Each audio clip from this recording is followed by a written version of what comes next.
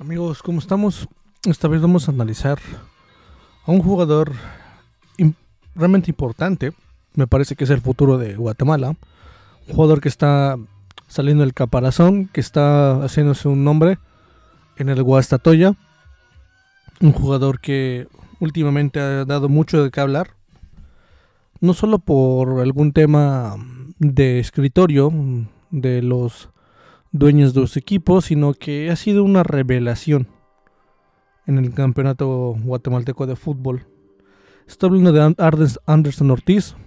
Anderson Ortiz es un jugador eh, que está irrumpiendo en el fútbol de Guatemala. Un jugador eh, realmente habilidoso, que realmente te deja sorprendido el nivel de encaramiento, el nivel de, dribbling, el nivel de esa gambeta que tiene. Es un jugador con un cambio de ritmo impresionante. Y que no es eh, ninguna sorpresa si se le puede estar asociando con algún club de Costa Rica o inclusive de Uruguay eh, para que sea fichado en el futuro próximo. Este jugador, eh, Anderson Ortiz, tiene 19 años, muy muy joven señores. Este año va a cumplir eh, 20 en noviembre podemos decir que es una es una grata sorpresa para el fútbol guatemalteco eh, tener jugadores tan jóvenes que están haciéndose de un nombre en el, en el fútbol de Guatemala. Antes de continuar con el video, señores, me gustaría mandarle un saludo a Eric, eh, Eric Ordóñez. Saludos, hermano.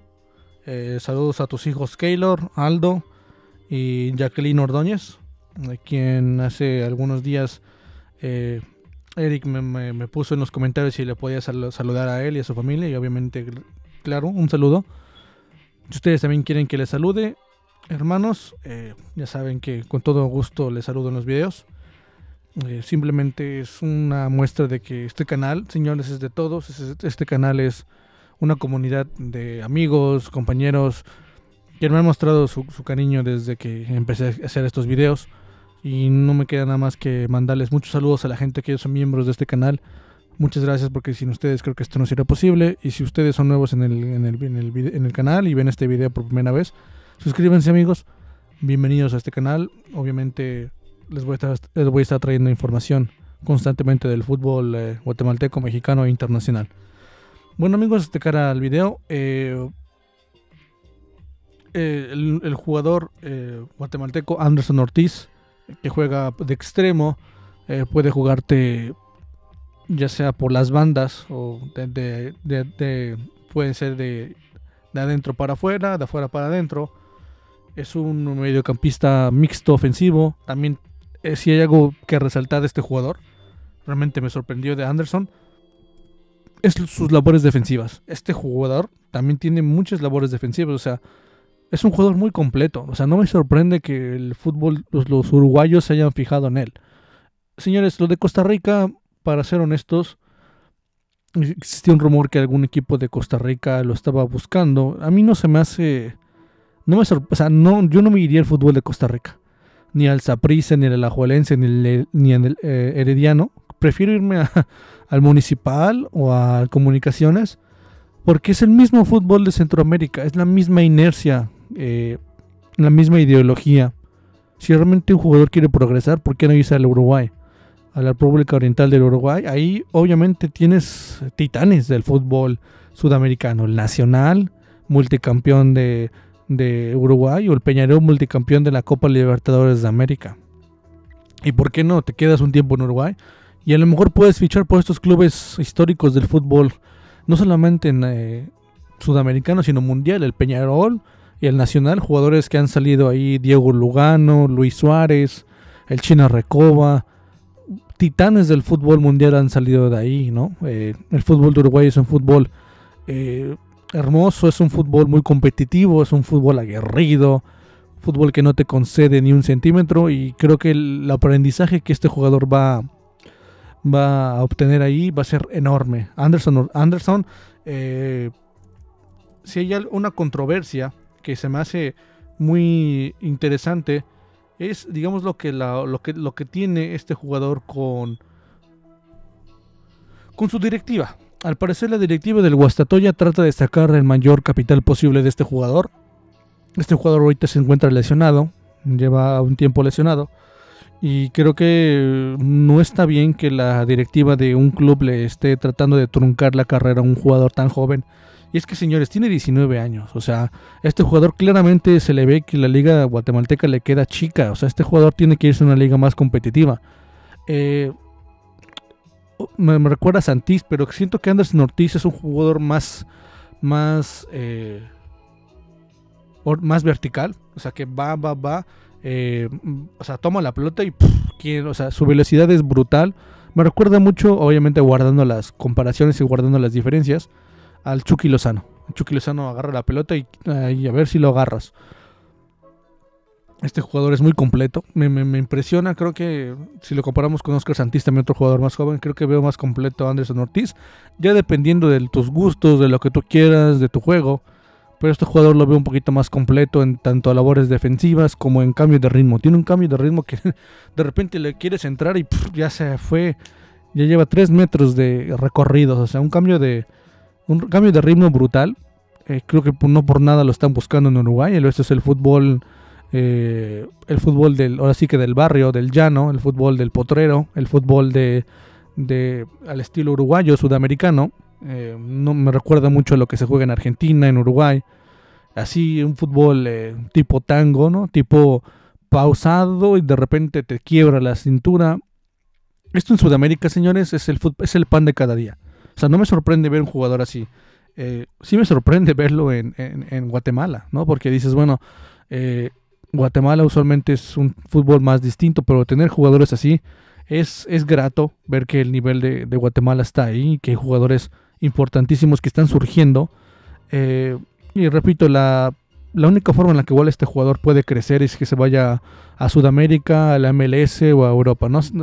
Costa Rica sí hay interés de Costa Rica, pero repito, prefiero irme a Municipal o a los Rojos al, a los municipales de comunicaciones antes de irme a Costa Rica, porque viene siendo lo mismo el Herediano. ¿Qué te va a traer el Herediano, el Saprisa? O sea, digo, Costa Rica ni, ni calificaron a, las Olimpiadas, o sea, la selección de Costa Rica ya no es lo mismo que era hace unos 8 años, 4 años. Ya no calificaron a, las Olimpiadas, ¿eh? no, no, calificaron a, a, los Olímpicos. Honduras sigue calificando, México sigue calificando y Costa Rica se está quedando atrás si Anderson piensa progresar, creo que eh, Uruguay es el destino. Uruguay es el, lugar donde él debe de ir. Obviamente, miren, en cuanto a, la, cuestión de la problemática que tiene con su directiva, obviamente el jugador está lesionado. Primero debe recuperarse. Una vez se recupera, él puede mismo plantarse ante el club y decir, quiero mi pase, dame mi pase, yo, quiero, yo no quiero estar acá. Él mismo puede pedir su, pase FIFA le dan su, su pase, su carta de libertad y se puede negociar con el, con el quien quiera. O sea que él tiene el, sartén por el mango. O sea, él es el dueño de su destino. El club, por más que quiera sacarle dinero, por más que quiera venderlo, no. Ya las leyes han cambiado, el fútbol es un poquito más democrático, si se puede decir entre comillas, en el sentido de que el jugador tiene maneja su propio destino. Ya no era como antes que pues el jugador era básicamente era como un, un eh, un saco de papas que lo podía estar ahí moviendo y no, no, ahora el futbolista tiene su destino. Él mismo puede pedir su carta de libertad y puede irse a cualquier equipo, pero primero tiene que estar saludable para que el club lo contrate y después ya mover su, siguiente paso. Me puse a investigar, señores, obviamente aquí también es un canal de información, me puse a investigar eh, en lo que pasó con Uruguay y creo que es más viable que Anderson Ortiz termine en Uruguay porque obviamente la Liga de Uruguay no ha empezado debido al COVID. Eh, ha habido muchos casos de contagio de, del virus allá en, el Uruguay. Y en Uruguay, pues ahorita la liga está parada. No ha comenzado. Eh, lleva un tiempo en off. Cuando la situación mejore, obviamente va a ser probable ver a, Uruguay. Eh, el fútbol uruguayo ya en acción. Ahorita en Uruguay están en, entrando en otoño, ya van a entrar en invierno. Y pues es complicado. Es complicado por lo del virus, porque pues mucha gente se enferma. Y es complicado ahorita, ¿no? Eh, si te vas a Uruguay, no, obviamente no puedes investigar qué clubes lo pueden contratar, ¿no? Pero miren, señores, el Liverpool de Uruguay, que hizo mayores puntos, es un club interesantísimo. El Peñarol ni se diga, eh, mayor número de Copas Libertadores en Uruguay. El Nacional igual, muchas Copas Libertadores de América. Grandísimos jugadores como Luis Suárez, el Chino Recoba han salido del, Nacional. Eh, puede irse también al River Plate de Uruguay, un club interesantísimo. Eh, puede irse también al Danubio. El Danubio es un, club donde han salido bastantes jugadores. De ahí salió Federico Valverde, Neri Castillo, el Danubio es un fútbol, eh, tiene un, es un club interesantísimo, un histórico de Uruguay. El Person Sporting, también se puede el Person Sporting, repito, el Person Sporting también de Uruguay es un, creo que de ahí salió el Aramarru, el, el uruguayo, es su, paisano.